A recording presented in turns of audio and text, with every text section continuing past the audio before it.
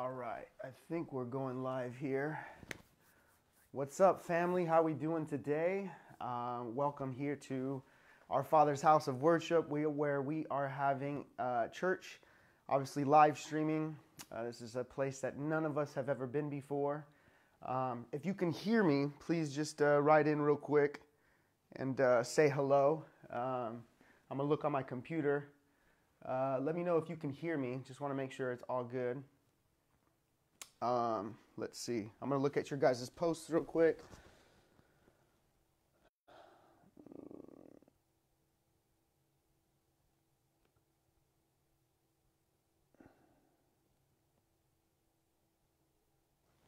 All right.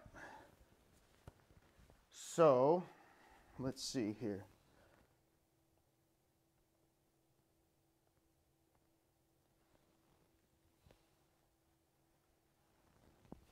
All right. So, can you guys hear me? Yes, you can hear me. Okay, cool. All right, let's get started. Uh, once again, like I said, welcome to our Father's house of worship.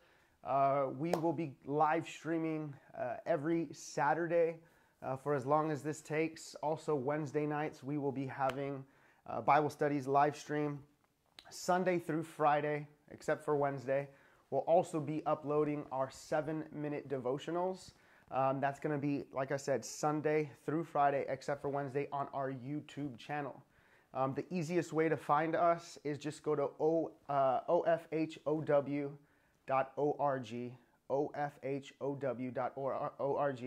and that'll link you to our YouTube channel, our Facebook, um, Instagram, and it'll just keep you updated with everything that's going on. So I just wanted to uh, give us a few, just a few more minutes here before we get started. Um, just wanted to say welcome to everybody once again. Uh, loving on you guys, praying with you and for you all. Um, definitely, like I said, these are times that none of us have ever lived. Uh, we've never been in a situation like this. So, in just a moment, we're about to get into uh, to God's word, and we'll be speaking um, on the topic today, which is "This won't defeat us." This won't defeat us. So just want to ask right now that you would uh, continue to pray for us, pray for your family, for your friends, and um, let's just let's just do this. Let's get in this together. So, all right. I see a few people. A few people are in. Jeremy, what's up? Gabriel, what's up? Gabriel, Kim, hello, Kimberly. Uh, welcome, welcome, welcome. All right. Without further ado, um, I think we should just jump into this real quick. So I'm going to exit here. And I'm going to bring this guy up.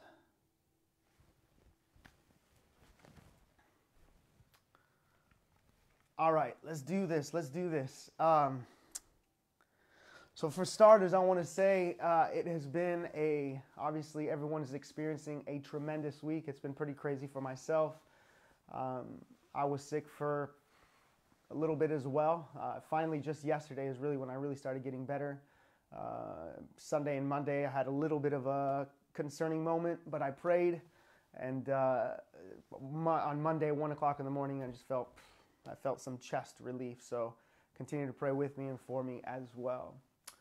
So today, I want to uh, just kind of start thinking about, um, you know, the the biggest question that I have for all of us at this moment in time as we are living in this point in history. And, and, I believe that we are here for a reason, that God has placed us here for a reason, right? That you and I were born for such a time as this. Like, what are the chances that you and I get to be alive right here, right now, in this place, in this time, while this is going on? Um, but the question that I have for all of us today is, is what is God saying to us? What is God saying to you personally? What is God saying to our country, to this nation? What is God saying to our world? Right? What is God saying? Now, if I were to ask, I don't know, 20 people, what is God saying? We might get 20 different answers as to what people believe God is saying. And, um, and so I'm, I'm reminded, though, of Isaiah, uh, who writes these words. He says, uh, speaking uh, writing these words for God, he says, God says, my, my thoughts are not your thoughts, And my ways are not your ways. Are as the heavens are higher than the earth, so are my ways higher than your ways, and my thoughts are higher than your thoughts. So I'm not here today to make any predictions and to tell you uh, this is what's going on and, and, and this is why it's going on. I don't I don't have that reason, but what I do know and what is steadfast and for sure is that God is for you that God will never leave you, God will never forsake you. God has said that no weapon formed against us shall prosper. God has told us that we can do all things through Christ Jesus. So I'm not here, like I said, to make predictions and say, well, what's happening and why is this happening? What I do know is that God loves us and God is always calling us to Him. God is always saying, the time is now, right? The time is now to. To, to love me. The time is now to be in a relationship with me. The time is now. So, as I said, I'm not here to make predictions, but I believe that Jesus Christ has given us the best example, all right? The best example in, in these moments, in these situations when we, when we go through life and we go through these things. How do we respond? And that's, that's the biggest question that I have for us today. How do we respond in situations like these? So I'm going to turn us to Luke uh, chapter 23. We're going to be looking at verses 26 and onward. So, Luke uh, chapter 23, uh, beginning at verse 26. And so here, here it reads Luke says this As the guards led Jesus to be crucified, there was a man in the crowd named Simon from Cyrene. He had just arrived from a rural village to keep the feast of the Passover. The guards seized Simon and laid Jesus' cross on him on his shoulders and forced him to walk behind Jesus and carry his cross. Massive crowds gathered to follow Jesus, including a number of women who were wailing with sorrow over him. Jesus turned to them and said, Daughters of Jerusalem, do not weep for me. You should be weeping for yourselves and for your children. For the day is coming when it will not be the women with children who are blessed, but the childless. Then you will say, The barren women are the most fortunate, those who have never given birth and never nursed a child. People will cry out for the mountains to fall on the top of them, to hide them from all that is to come. For if this is what they do, to someone who's innocent, what will they do to the guilty? What will they do to the guilty? So, just for the next few moments, I'd like to speak on the topic entitled This Won't Defeat Us. This won't defeat us. Would you pray with me? Uh, wherever you are, just pray with your family members. If you're alone, pray. Let's pray. Dear God, we want to thank you for this moment that we have together that that even though we could not meet physically in our in our church locations god that the body of christ that you and i that we are the church that just because the the, the, the, doors have closed to, uh, have the doors have closed it does not mean that the church is closed because you and i are the body of christ. And so god i just want to pray right now that you would speak a word to us all, that you would allow us to hear from you, that you would give us peace, that you would give us love, that you would give us clarity of mind, that God, you would please in this moment capture our hearts. I pray right now that you would take my ordinary words and turn them into an extraordinary revelation of your love, your truth, and your peace. God, speak for we need to hear from you. In Christ's name we pray. Amen. This man named Simon, he was a gentleman from the northeast part of Africa, Simon. And his plan was to go to Jerusalem to celebrate Passover, right? He was going to Jerusalem to celebrate Passover because everybody at one time in their life, if they didn't live near Jerusalem, uh, they wanted to get to Jerusalem, the holy city, to celebrate the Passover. And here's Simon, he, he's living in the northeast part of Africa. Can you imagine? He's saving his money. He has a vision. He has a plan. He has to travel quite a bit, right? It wasn't like he could just get on a plane and fly over to Jerusalem. It wasn't like he could just uh, uh, take a train or whatever it might be. I mean, this brother was traveling, whether it was on foot or a donkey. But the point is, this brother is, is, is taking his time. He has a vision in his mind to get to Jerusalem to celebrate Passover. And, and as he's entering upon this city in Jerusalem, there's a man walking down the street with a cross. There's a man walking down the street with a cross. He doesn't know who this man is. There's, there's an uproar in the city. There's, there's all this, there's these crowds that are gathering in. And in his mind, you know, he's going to, to, to, to celebrate Passover. And, and all of a sudden, as he's walking through the town, the Roman guards say, Hey, you, you there we, they grab him and they force him into this situation to, to bear the cross of this criminal right? This, this, this jesus who was who is deemed a criminal this jesus who's being put to death this innocent man. But simon doesn't know that just yet.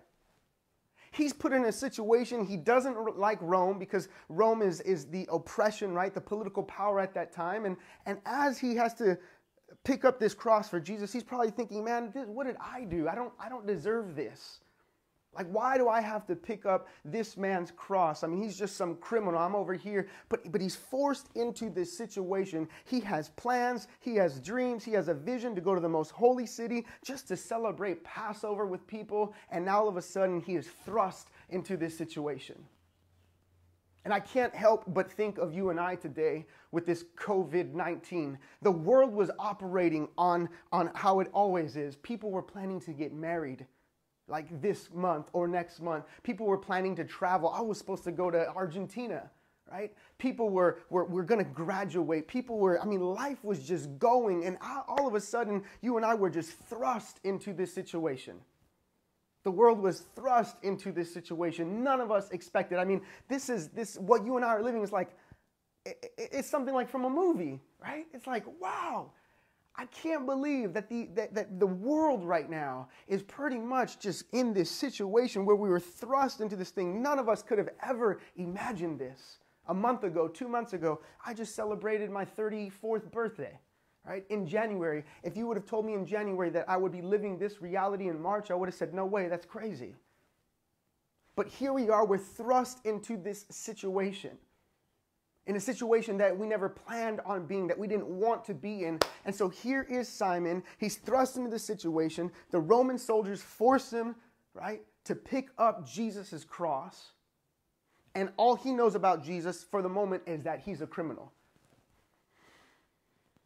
And I can't help but wonder in moments like these, family, that right now, the, the collective, our human collective cross right now is COVID 19. All of us are carrying this cross right now, COVID 19. We were thrust into a situation that we didn't want to be. And a lot of us, here is Jesus. He has been beaten, he has been up all night. They had taken him to Pilate's court to condemn him. Then Pilate sent him to Herod. Herod sent him back to Pilate. He's tired, he is, he, he's weak, he's hungry. And, and as he's trying to carry this cross, and this is what Rome would do, they would beat you so bad and then when they would lead you out to crucify you, they'd take you through the longest route in the city of Jerusalem because they wanted everybody to see hey, this is what happens if you mess with Rome. Don't mess with us. It, it, was an example to everybody else that hey, if this is if this is how you act, this is what's going to happen to you. This will become your reality. And so they want to take Jesus through the longest route possible. And here comes Simon, and he is thrust into this situation to pick up somebody else's cross that isn't his.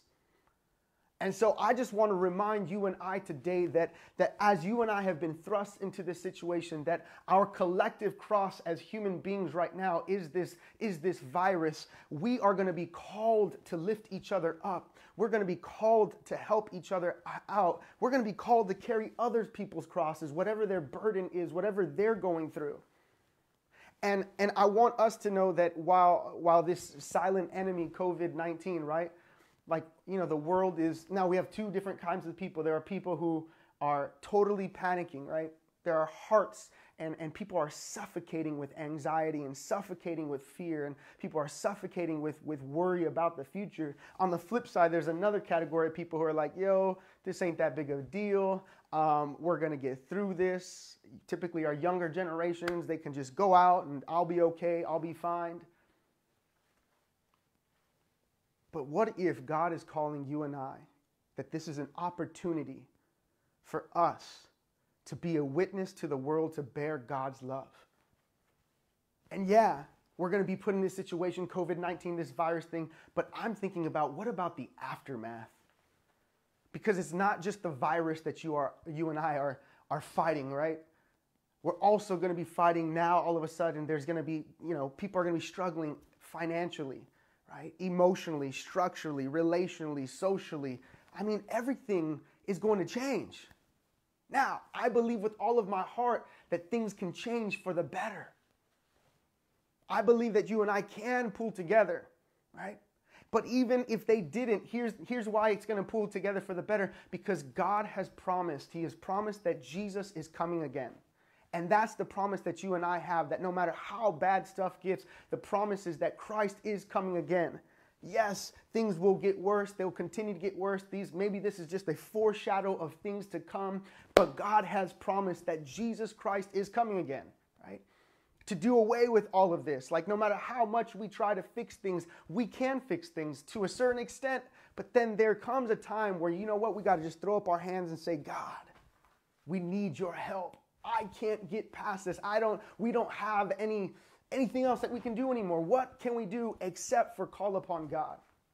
And so we are put in this situation. So going back to the story, so here's Simon. He's thrust into this situation to pick up Jesus' cross. And, and here's the thing I wonder as Simon is walking down this, carrying this cross, right, down Jerusalem for such a long time. I wonder if in the beginning of his journey he thought to himself, man, this, this criminal, I'm carrying this guy's cross. But I wonder if he watched Jesus. Because here's my question How was Jesus responding to the cross that he had to bear? How did Jesus respond in this, in this terrible situation? And as Simon is carrying Jesus' cross for him, I wonder if from the beginning of his journey that he started, he thought to himself, man, this is such this is such a nuisance in my, my life right now. This is such an interruption to what my plans were. And now I got to help this guy. Why is this guy's life all of a sudden interrupting me? And I wonder if he got finally got to the place called Golgotha, right? The place of the skull on the hill where they would crucify criminals. I wonder if when he got to that point, he started off bearing Jesus' cross, holding up Jesus' cross, and thinking, man, this is such an interruption to my life. This is such a nuisance to my life. I don't want to be in this situation. This isn't fair. Why am I thrust into this situation? But I wonder if by the time he got to the hill, if he had saw Jesus and the way Jesus was bearing his cross, I wonder if he thought to himself, something changed within him. I wonder if he noticed and took, how did Jesus just walk? How was Jesus' heart? How was Jesus' spirit? Because I believe with all of my heart that a lot of times things interrupt our life. Right? There are trials, there are burdens, there are other people's things that they're, that they're suffering, they're going through. And a lot of times it comes into our life as an interruption. And that's the way it feels. And we carry people's crosses. And by the end of the journey, not only was it transformational for them, because we helped them out, but more often than not, carrying other people's crosses is also transformational for us. It transforms us from the inside out. And so I wonder if, as he saw how Jesus responded to the cross, I wonder if that changed his heart and his mind. And as you and I are living through this situation and we're going through these things, like I said, not only are we dealing physically with this virus, but but the enemy, we think the enemy, this this this this invisible enemy is COVID-19, but the greater enemy is how do we respond? How will you and I, as human beings, respond to this situation? How are we going to show love? Like, are we gonna, are we gonna, you know, draw back in fear? Are we gonna draw back in selfishness? Are we gonna draw back in hoarding, right? Going out and buying all this stuff so that nobody else has anything else? Are we gonna go into this, to this, this, this, this posture of, you know, oh my gosh, and then act all kinds of crazy? Or are we gonna stand in faith? And are we begin to be driven by God's love? To show the world that this is how we respond. Because if you look at Jesus' life, you know, and how he responded time and time and time again, no matter how bad the situation was, no matter how hot and intense his circumstances were, no matter, no matter what Jesus was thrown into, he always responded the same way. His disciples, one of his own disciples, Judas, his boy, he was going to betray him. And Jesus knew this. And on their last meal, their, their last supper meal together, what does Jesus do to his betrayer? To the one who's going to sell him out, to the one who's going to, to uh, uh, tell the religious leaders where Jesus would be praying in the Garden of Gethsemane. What does Jesus do? He takes off his robe and he puts on a servant's towel and he begins to wash the feet of the disciples, even the one that would betray him. And after Jesus is in the Garden of Gethsemane and all the religious guards come in to, to, to arrest Jesus, you know, what does Jesus do? Does, is he there? How does he respond? They, they, they come in with their spears and with their chains and they're ready to arrest a criminal who's never, this person who they call a criminal who's never committed a crime. But how does he respond to that moment, to that cross, to that burden, to that trial, to that tribulation? What does Jesus do? They ask him, Are you Jesus of Nazareth? Yeah, I'm, I'm him. Are you looking for him? That's me. And he goes with, with this peace in his heart. He goes, he, he goes, and then and then they take him to, to Pilate and the Herod, and then back to Pilate. And while he's there, they beat him. I mean, how does Jesus respond when, when they beat him to the point of almost death, when they take a whip with nine tails, and those nine tails have some bones and other pieces of glass attached to it, and as they're whipping him, right? As they're whipping him, and as he's bearing that burden in that trial, how does Jesus respond to that situation? How does Jesus respond when the guards, when they when they put a a, a, uh, a bag over his head so that he can't see, and then they they punch him in the face and they say, "Prophesy, if you're a true prophet, prophesy. Who hit you?" How does Jesus respond when he's mocked and, and disrespected and they spit in his face and they pull on his beard? And how does Jesus respond? Over and over, Jesus responds with love, with faith, with trust. Jesus was so grounded in his Father's love Jesus was so grounded in his Father's love that no matter what happened, no matter what the situation was, he trusted not in the moment and not in the circumstances, but he trusted and he rested in his Father's love. Jesus understood that, listen, no matter what happens, I know this looks like a bad situation. I know one of my disciples just betrayed me. I know that when I went to the garden, they came to arrest me. I know that they've beat me. I know that they've mocked me. I know that they've called me crazy. I know they think that I'm a liar. I know that I'm living in a bad situation. I know that I don't deserve this cross. But how did he respond every single time? Every time he kept on trusting. It was a choice to trust in God. And so you and I are living in this moment right now where it's like, yo, what's going on? We don't even know. It's like every day there's new news, there's new news, there's new news. And we can look to Jesus as our prime example and say, how did Jesus respond to the situations that he was in? How did he live? How, what did he exude? That no matter what came his way, if hate came at him, he responded in love, right? If betrayal came at him, he responded in love. If people called him crazy, he sp- responded in love. How did he fight? He fought with love. And so today, as we think about this situation, there's Jesus going from place to place to place, finally to the cross where Simon has to help carry his cross. And then he gets crucified nailed, hands, feet. And how does Jesus treat respond to criminals? How does he act to criminals? two criminals that are being crucified. He's in between them. One of them says, Lord, remember me. Remember me when you when you come again. Remember me and, and when you go into your kingdom. And Jesus says, Today I tell you, you will be with me in paradise. It seems like no matter what situation was put, uh, Jesus was put in, no matter how vulnerable, no matter how trying, no matter how hurtful, no matter how scary, no matter what the situation looked like, Jesus kept on responding with full confidence and trust in God. And he kept on responding in love. He even spoke to a criminal and he had the audacity to take another breath and still remain conscious enough to say, Today I tell you, you will be with me in paradise. So here it is. Here it is, family. The title of today's message is This Won't Defeat Us. This won't defeat us. This won't defeat us. The only thing that will defeat us is us. COVID 19, whatever may come our way, that won't defeat us. The only thing that will defeat us is us the question that you and I, like I said, the, the biggest enemy is how will you and I, human beings, respond now to this situation? Will we, will we respond like Jesus? That no matter what situation he was put in, he kept on having that trust and that confidence and exuding love to the world? Or will, or will we respond another way, right?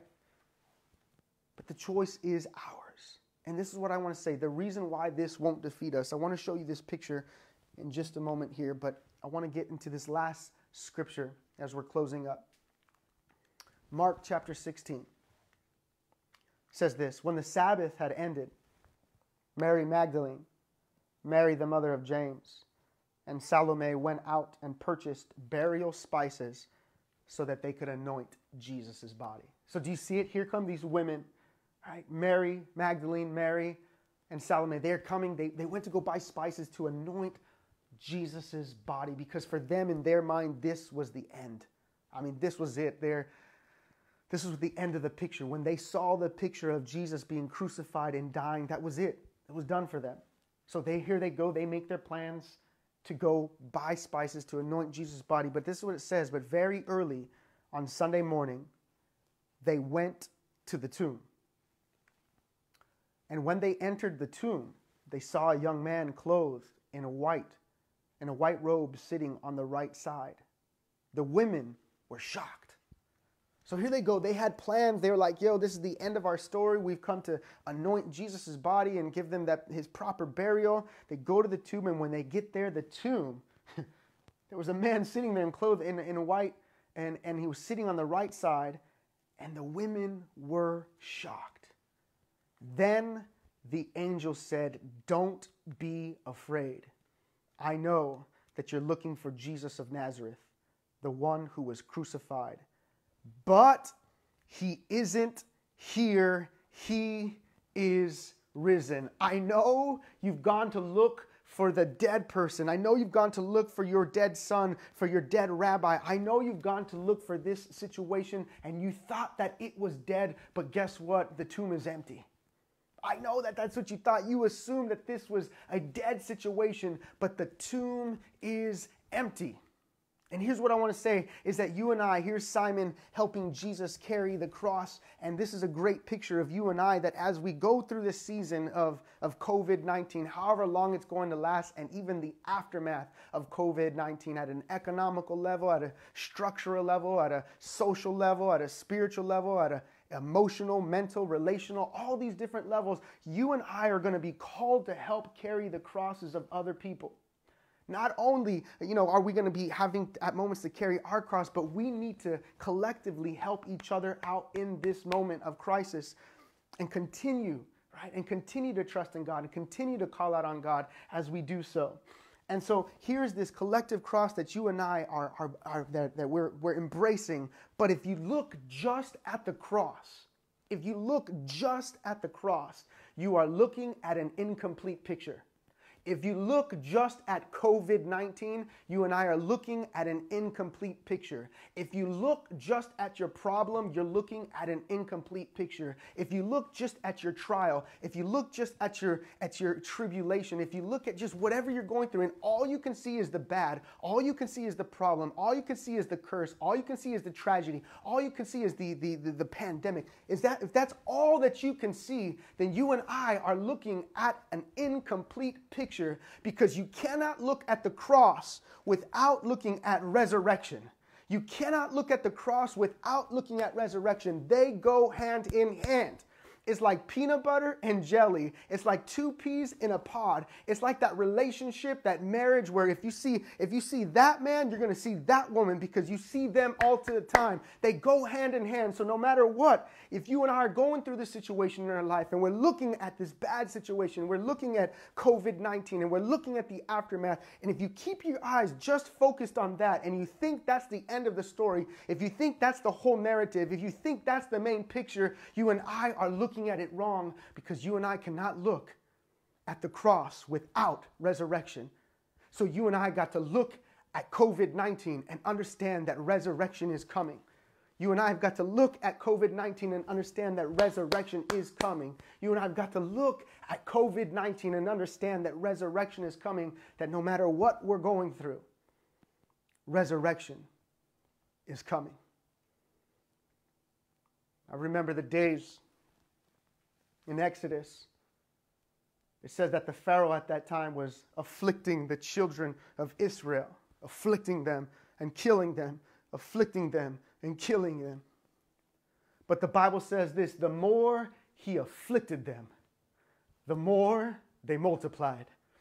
The more they afflicted them, he afflicted them, the more they multiplied. And I think about us, the more we're afflicted in this situation, the more you and I are going to multiply.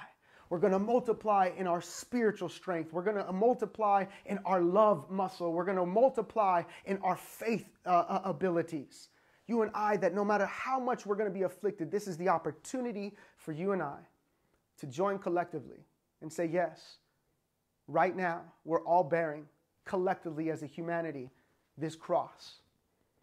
But now we are called to look to God, to trust in Jesus and know that no matter what happens, it's going to be okay.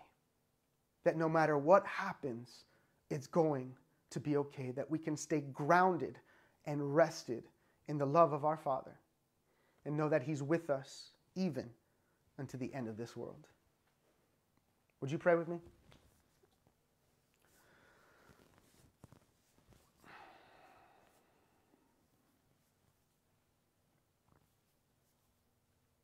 God in heaven, Lord, I want to thank you for this opportunity to, to just spend with my, with my family and friends over social media. Yeah, sure, we've never had church like this before. Um, we've never even lived this before. This is all something totally brand new to each and every one of us. But God, we want to turn our faith and our hearts and attention to you. And like Jesus, no matter what situation he was put in, he always responded in trust, in faith, in love, and obedience to you. And God, what Jesus lived, what he spoke, what he walked, it revealed the condition of his heart. And so today, God, we want to have a good heart condition. We want to be able to respond, to speak, and to live with this Christ in us. And so today, if you've never accepted Christ, today you want to re-accept Christ, or today you you're really not even sure. Maybe you're listening and you're tuning in, you're not even sure about what was just said. Maybe a lot of it was like just went over your head and you're like, wow, I'm, I'm not really sure about any of this. It's okay. But what I want to say is this at this moment, all of us, joint, jointly, collectively, we can all just invite Christ into our hearts, into our life. So whether you want to do it, you know, out loud or just in your mind and your thoughts, I want to take this time to give you the opportunity to say yes to Christ. Just to say, Christ, I don't even know you yet, but I want to start and I want to invite you into my life and into my heart and allow me to be grounded in who you are. We thank you so much for hearing us. We thank you for answering us. In Jesus' name we pray.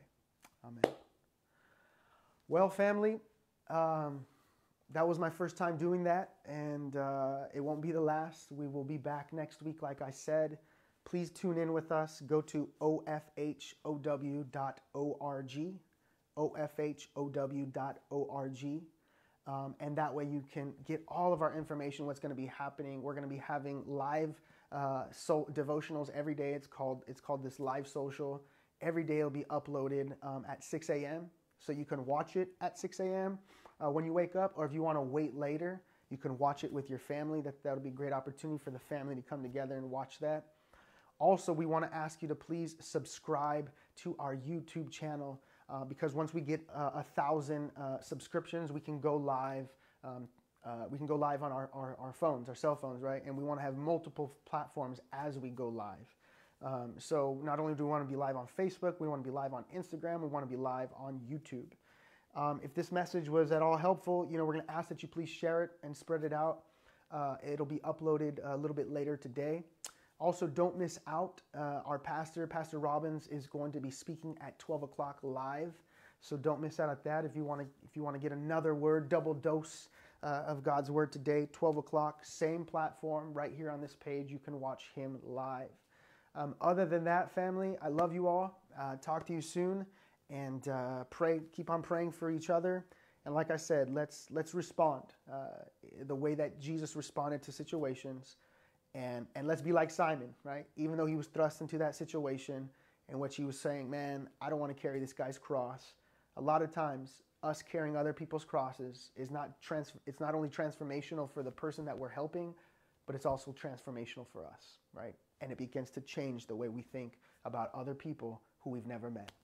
All right, love you guys. Uh, have a good one. Say hi to the family. Ciao.